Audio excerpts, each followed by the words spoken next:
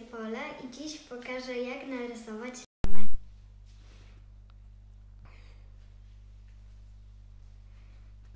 Co będzie nam potrzebne dzisiaj? Będzie, będzie najpierw potrzebna jedna lekko pomarańczowa kredka i druga, która będzie jaśniejsza. Nią będziemy robić futerko, a tą kredką będziemy robić takie okrągłe futerko. Aha. Powiedz jeszcze, co to za kredki? Mm, To są y, pastele. Będziemy dzisiaj robić lamę pastelami. To są suche czy e, tłuste pastele? Suche. Suche. Mhm. Mm, Przyda nam się też jedna czarna pastela, która przyda się do robienia pyszczka. Też przyda się biała pastela, albo precyzyjna, albo normalna.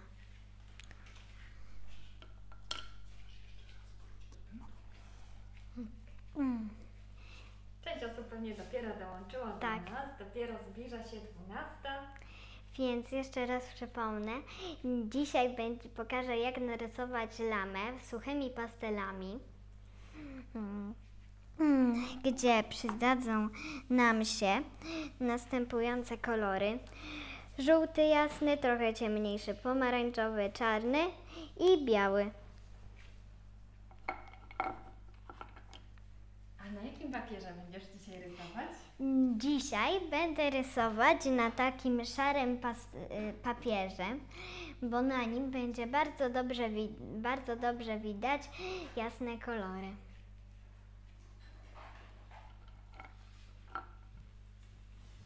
Tu masz podgląd na Dobrze, komentarze. dziękuję. Zaczniemy sobie od zaczniemy sobie od narysowania samej szyi z głową lamy. Na początek przyda nam się pomarańczowa pastel. Czy chcesz, żeby przybliżyć kartę? Chyba tak.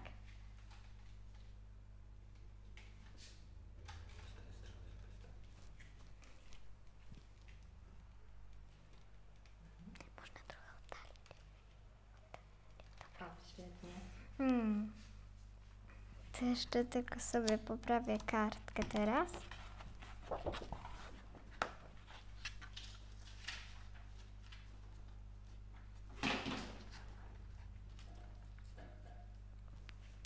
Dobrze, a więc tutaj zaczniemy. Tak. A więc zaczniemy od samego końca szyi.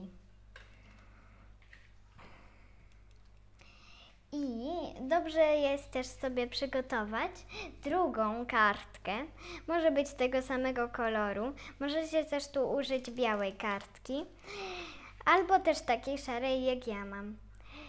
A druga kartka przyda nam się po to, by też testować kolory, która będzie potrzebna do też wybrania odpowiedniego koloru pasteli.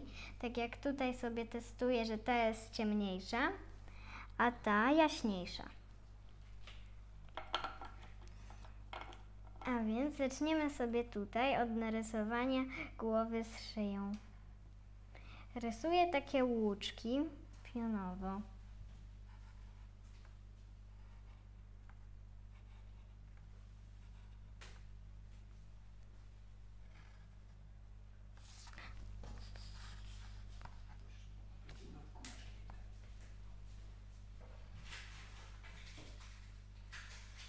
Z drugiej strony robimy to samo.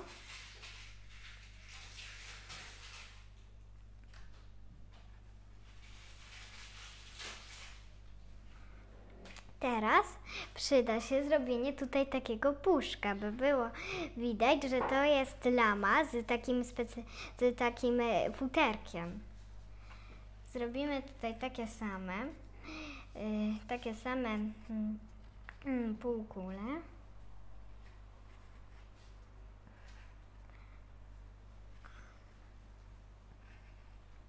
Tutaj dodam Ci jeszcze troszeczkę, żeby Ci na pewno papier się nie zsunął. Dobrze. A jak ciekawie wychodzi ten kolor na tym niebieskim tle. Tak, tutaj na, na takim niebieskim, szaro-niebieskim tle właśnie bardzo le, mocno widać ten kolor, jest taki bardziej żywy. I teraz to jest moja y, ulubiona metoda, y, by sprawić widok, by te takie mm, puszek był bardziej taki 3D. Użyję teraz jaśniejszej, żółtej pasteli. I teraz tu robimy takie lekkie bazgrołki. Tutaj tak w środku i tak pomiędzy tymi, y, tym puszkiem.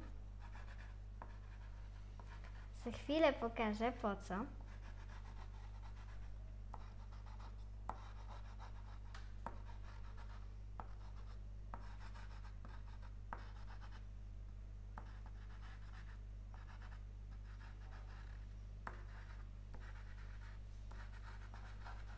Świetnie. Tak. I teraz najważniejsza część tego futerka to jest palec. Bo palcem się świetnie rozetrze ta sucha pastela.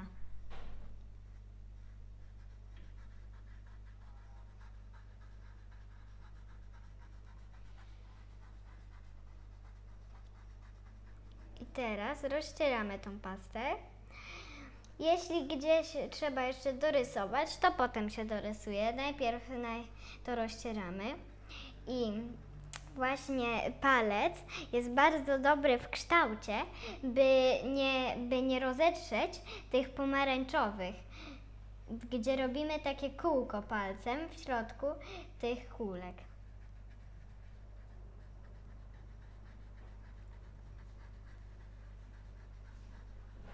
I takim właśnie też ruchem pomiędzy kulkami się świetnie uzupełni puste też miejsce.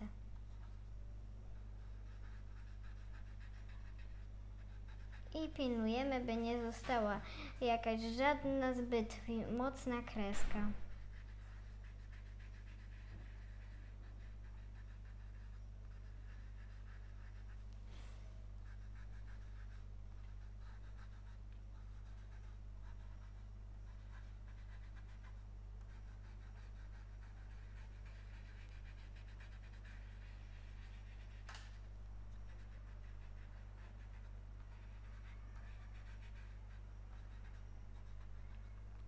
Tutaj w niektórych miejscach, właśnie przy tych półkulach, mi trochę właśnie zabrakło już tych kresek, więc sobie dorysuję. A jeśli Wam też się tak zdarzy, to, y, to najlepiej w, takim, mm, w takiej sytuacji nie, nie rysować tych tych kresek za blisko też tej pomarańczowej kreski, której nie, chyba nie chcemy rozetrzeć, bo wtedy będzie ciężko nam rozetrzeć tamtą żółtą bez rozcierania pomarańczowej. I ja teraz tak robię w środku tych kulek. Właśnie zawsze tam, gdzie jest, zostało jeszcze tak, to najlepiej w środku tego miejsca to zrobić, bo potem, gdy będziemy takie robiąc kółko palcem to rozcierać, to wtedy mm, właśnie to się rozetrze w takiej formie kulki i będzie najlepiej to wtedy się uzupełniać. I teraz tutaj rozcieram, robiąc taki ruch palcem.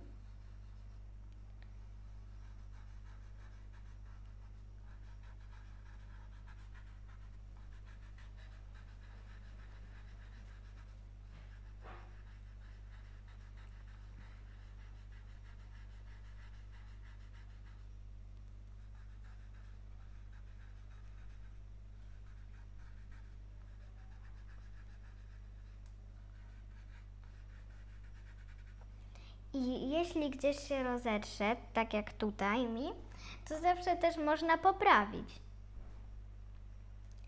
O, i jeszcze ważna jedna informacja, by przy rysowaniu pastelami nie opierać tak ręki, pilnować gdzie się tak opiera rękę, jeśli tak się robi, bo jeśli bym tutaj ją oparła, to by mi się to wszystko roztarło, także trzeba też mieć swoją rękę pod kontrolą. Mm. Teraz takim samym sposobem zrobimy główkę lamy.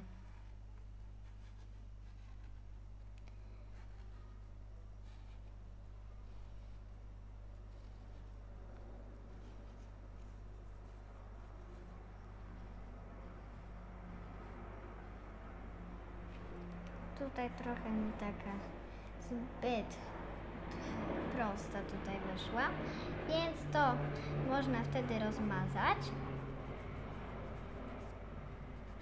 To, co się nie udało.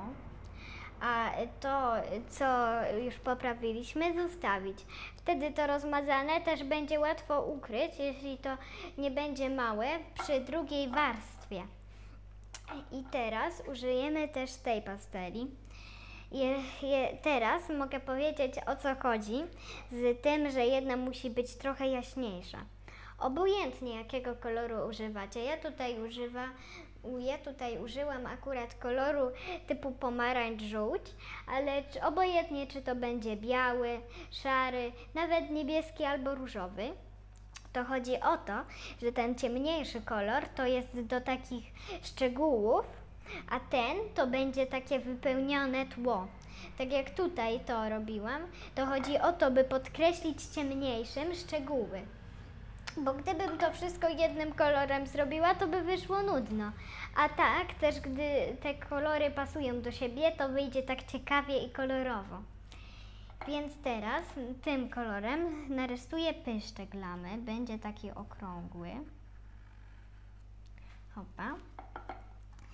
I przyda nam się teraz tutaj czarna pastel też, ale sekretem jest takie, bo ponieważ czarna pastel to jest nie za bardzo podobna do żółtej, to wtedy, jeśli bym teraz to no tak narysowała, to gdyby, to gdy będę tutaj zakrywać te y, puste fragmenty, to by, gdyby to się roztarło, to by właśnie już mi się też palec pobrudził tą czernią i wtedy by już każda, każde kolejne roztarcie było takie wyblakłe. Więc najpierw sobie wypełnimy to miejsce po to, by uniknąć takiej sytuacji.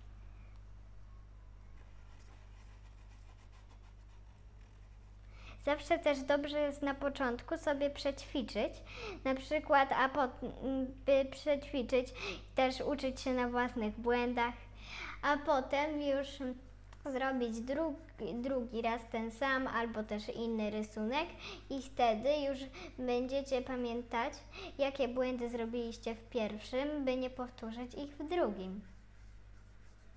O, i teraz jest już pyszczek i teraz użyję czarnej pasteli. Tutaj robimy taki mały trójkątny nosek dla mnie.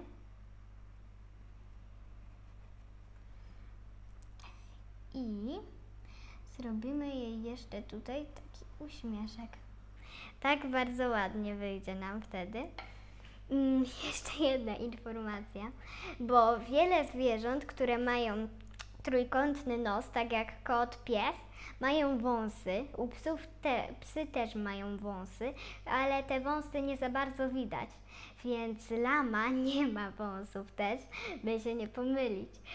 Chyba, że ta lama będzie na przykład szła na jakąś imprezę albo sylwestra, wtedy fajnie wyjdzie, gdy będzie umalowana na kotka na przykład.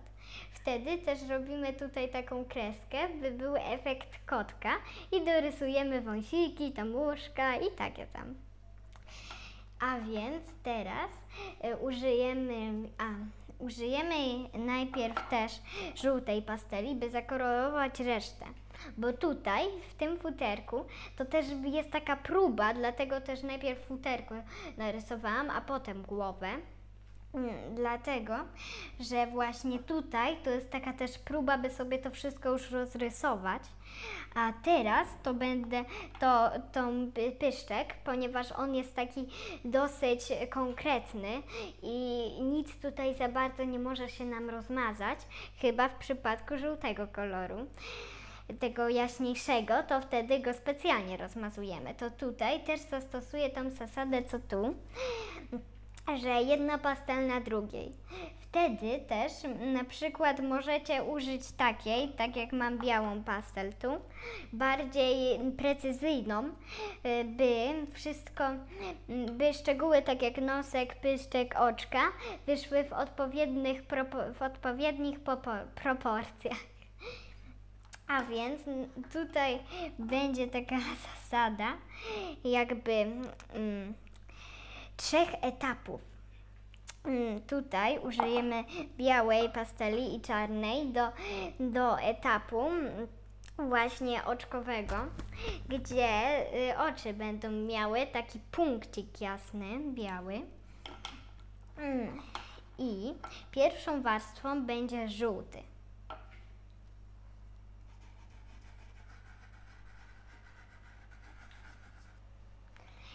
I też można sobie wyznaczyć od razu białą kredką, e, pastelą precyzyjną, gdzie będą oczy, by ich nie zamalować właśnie, bo wtedy wyjdą łatwiej, gdy będzie czyste pole. Opa.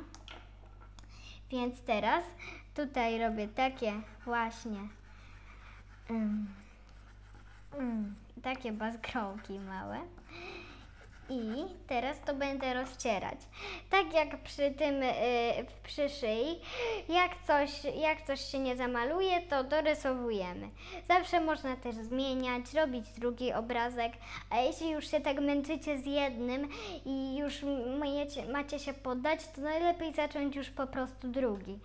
Chyba, że na przykład mm, to jest jakiś trudny malarski obraz albo pastelowy, gdzie się bardzo staraliście, to wtedy opracować sobie już plan tego i rozmalować na tamtym. Też opracować, czego już nie robić z błędów.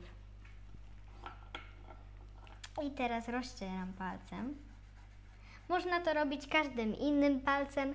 Też dla leworęcznych można rysować lewą ręką. Ja jestem praworęczna, więc rysuję prawą.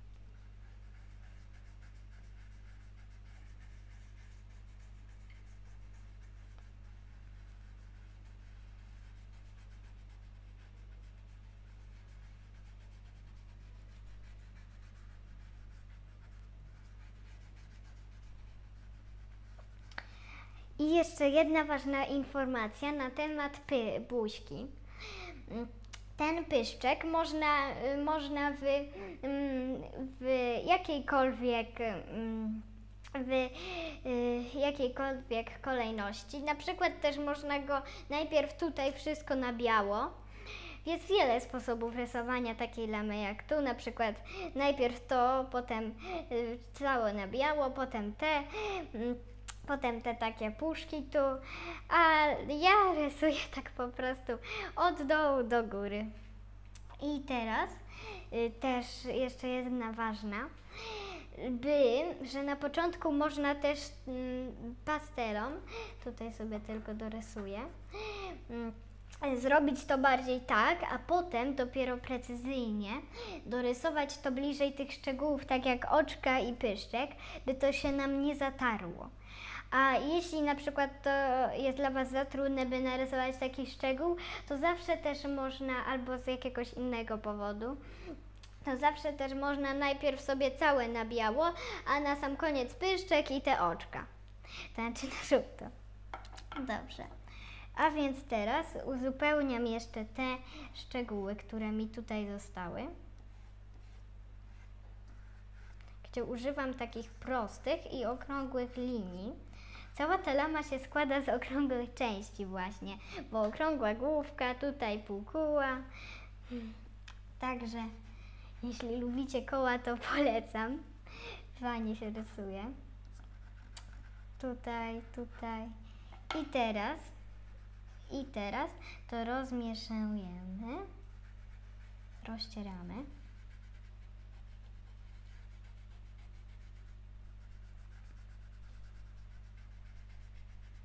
I też jeśli nie chcecie, by jakoś mocno się Wam kolory połączyły, przez to, że na przykład mm, nie pasują do siebie albo by brzydko wyszły, gdyby się połączyły, to możecie też sobie zawsze po prostu przecierać palec po tym, ale też dobrze jest, gdy się robi jeden kolor, tak jak ja tu teraz i dorysowuję, na przykład zostawić sobie taki palec, gdy rysuję tym samym kolorem, bo wtedy też to, co na nim jest, zapełnia też dziury y, wcześniejsze, gdzie łatwiej jest bez dotykania za bardzo tej kreski, by jej nie rozmazać, wtedy zapełnić właśnie to, by nie było żadnych jakichś wielkich dziur. Małe dziury, tak jak tu, tu, tu, na przykład można zostawić, bo ważne jest to, by nie było jakiejś dużej, na przykład jakiejś takiej wielkiej dziury. Więc teraz będę jeszcze dalej rozcierać.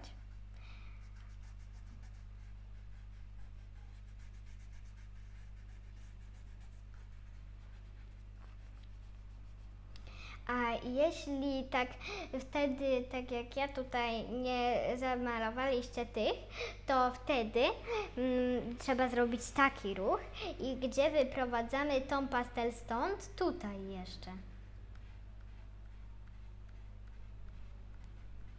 To jest takie właśnie koło, jakby w górę, że idziemy, a kiedy już tam dotrzemy do tego miejsca, to rozcieramy, robiąc kołem.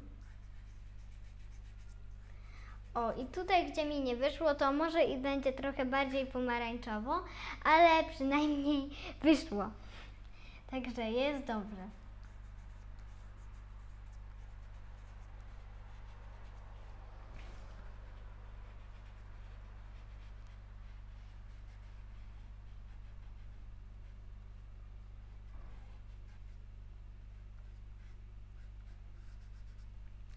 Druga metoda, gdzie mm, jeśli macie na przykład taką pastel, a nie macie takiej, to wtedy, jeśli mm, na przykład chcecie to dokładnie zrobić, by nie zamalować, bo boicie się, że zamalujecie, że zatrzecie pyszczek albo oczka, to wtedy zawsze też można sobie po prostu pomalować palec. Wtedy będzie precyzyjnie.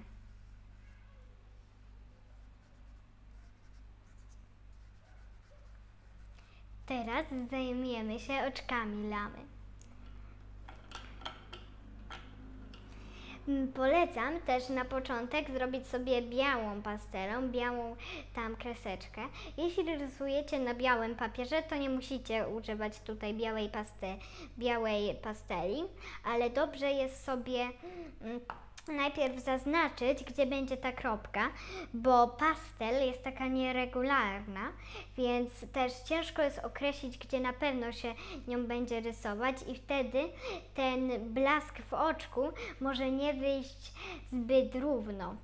Więc ja najpierw tutaj sobie narysuję białym. Robimy go z tej strony.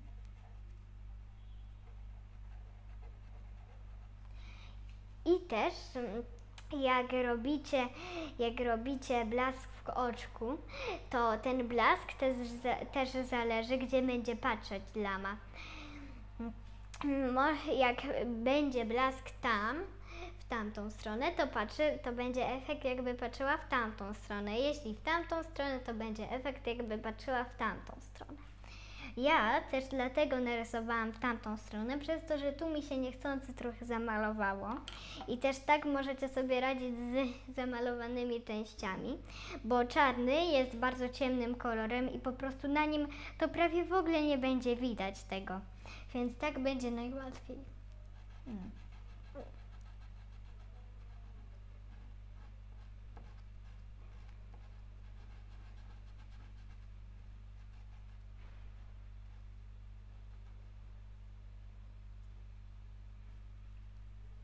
Też jeśli mm, tak jak teraz robię, to gdy teraz chcemy taką cieniutką kreseczką zarysować jeszcze ten fragment, by obtoczyć tą białą kreskę, to też można znaleźć taki punkt na pasteli, gdzie będzie właśnie ona tak, tutaj wyostrzona jakby i wtedy tak ją przechylić pod odpowiednim kątem, by zrobić tą kreskę i wtedy będzie precyzyjnie i ładnie. Jeśli chcecie bardzo precyzyjnie to też narysować.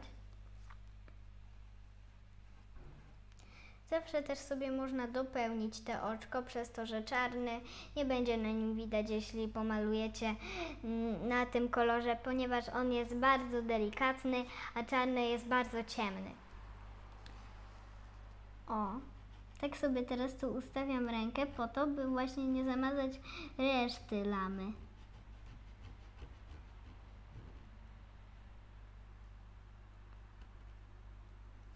I oczka lamy, właśnie one nie są takie okrągłe, tylko są takie właśnie przechylone jakby.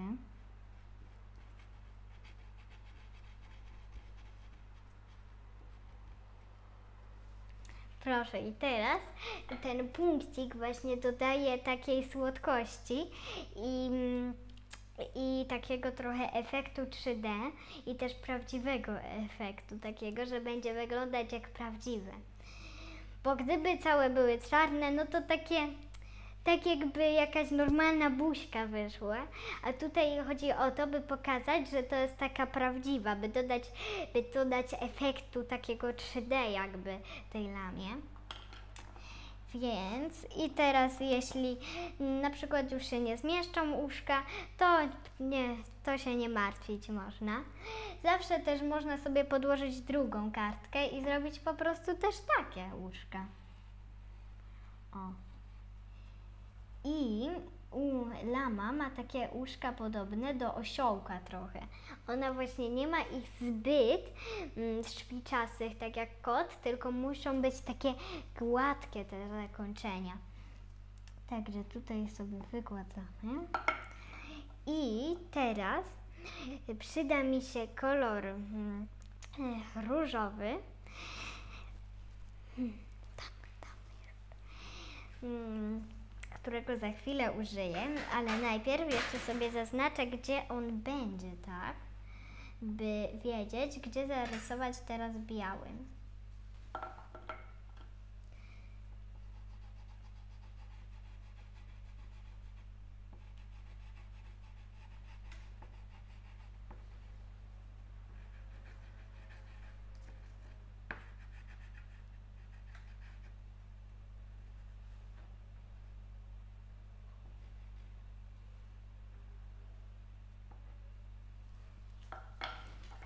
Teraz tutaj sobie wezmę jeszcze różową pastel. Nie musi być jakaś za jasna, ciemna, to obojętnie jest. Zawsze też można białym to, yy, to tak rozjaśnić i będzie też dobrze.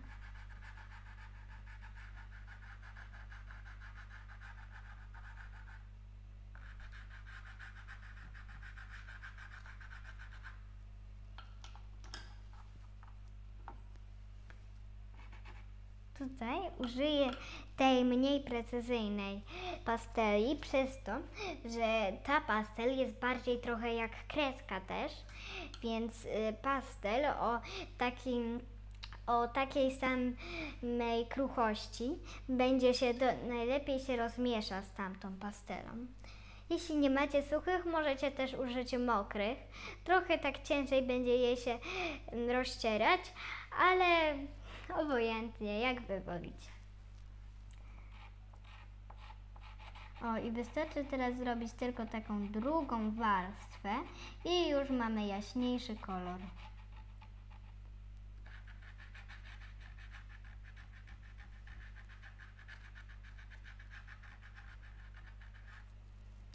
I teraz piękny różowy nam wyszedł. Jeśli chcecie, by też taki wyszedł, to, to użyjcie wtedy takiej ciemniejszej, takiej lekko czerwonej pasteli, która jest taka czerwono-różowa, taka bardzo ciemny róż.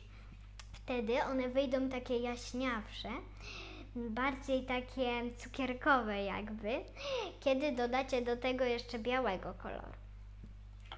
Teraz narysuję, narysujemy jeszcze lamę całą, która będzie trochę mniejsza, ponieważ też nie ma jakoś, nie za dużo mi jeszcze tego tu zostało. Także tutaj mamy już gotowy portret lamy, a tutaj zrobimy jeszcze całą lamę, gdzie będzie widać jej ogonek i całość. Sprawdzę tam jeszcze na komentarze. Dobrze. I teraz, mm, teraz, jak zwykle użyjemy tego koloru. Jeśli i jeszcze zostawiłam to tak pod koniec, by powiedzieć Wam, jakich kolorów e, użyć, kiedy mm, jakich kolorów użyć, kiedy nie robicie takiej lamy, tylko na przykład chcecie, by była taka biała, to wtedy mm, to wtedy zamiast y, zastępcę zastępczym kolorem żółtego u mnie będzie biały. Czyli ten najjaśniejszy, bo to jest główny kolor lamy. A tym ciemniejszym będzie taki lekko szary właśnie, taki bardzo jaśniutki szary. Też nie przesadzajcie z jaśnością wtedy szarego. Czarny zawsze się zostawi, bo czarne są oczy, czarny jest pyszczek. Można też zrobić szary pyszczek, jaki chcecie, różowy. I tak samo też, gdy wasza lama jest taka różowa, bajkowa, nawet niebieska, zielona, jakakolwiek, nawet może być czerwona to wtedy zawsze ten kolor musi być ciemniejszy trochę i bardziej jaskrawy, by, by zwracało właśnie to uwagę, a to tak mniej, bo to jest tylko takie tło, to jest kolor właśnie, który, którym wypełniamy tutaj tę część. A więc teraz, uży, tu, teraz tutaj zrobię całą lamę. Zaczniemy sobie tutaj od ogonka. Ja sobie zacznę od właśnie ogonka. Każdy może zacząć od czego mu łatwiej. Ja jestem z tej strony, więc łatwiej mi jest zacząć od ogonka. Mm, Też można zacząć sobie od głowy. Dobrze jest zacząć od tej strony albo tej strony, bo wtedy łatwiej jest Wam do wielkości tego dopasować resztę ciała. Bo gdybyście zaczęli na przykład od kopytka albo od środka, to wtedy by trochę ciężko było to zrobić. A tak, jeśli od głowy albo od ogonka, to najłatwiej jest to zrobić. Też dlatego, że nie wiecie, jaka wielkość Wam wyjdzie, przez to, że paster jest właśnie taka nieprzewidywalna. To teraz zrobię tutaj kopytko.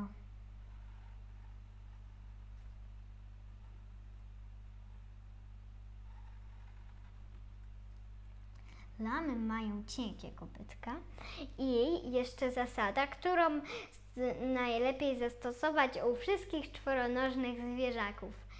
Jeśli chcecie, by to był taki efekt 3D, by bardzo pokazać, która, która noga, kopyto, łapka są, są bardziej z przodu, a z tyłu. By stworzyć ten efekt 3D, to wtedy robimy tu linię, brzuszek taki, a tą drugą, mm, w przypadku lamy kopytko, drugie kopytko, rysujemy właśnie od tej linii. Wtedy widać, że właśnie te kopytko się zlewa z resztą ciała od tamtej strony. Jeśli rysujemy lamę w drugą stronę, to wtedy, to wtedy te